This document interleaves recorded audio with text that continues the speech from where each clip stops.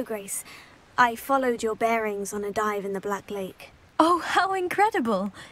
Did you find the astrolabe? I did find it. However, I've taken a liking to it, so I'm going to keep it. What? But you can't. It doesn't belong to you. Finders keepers, Grace. I can't believe this.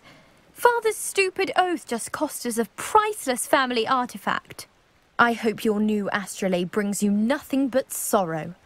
If you can even work out how to use it. I knew I should have done the dive myself. Father's wishes be damned.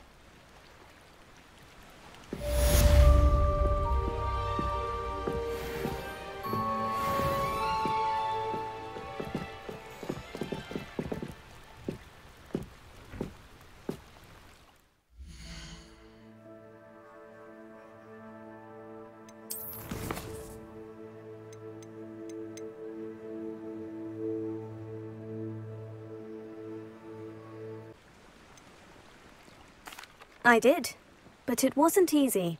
I shall need to be compensated. I see. That's fair, I suppose. A reward, so to speak, for finding the buried treasure. Thank you for recovering it. You do well to keep an eye out for more spots to dive. A diver of your caliber is certain to find all sorts of things down there. Thank you again.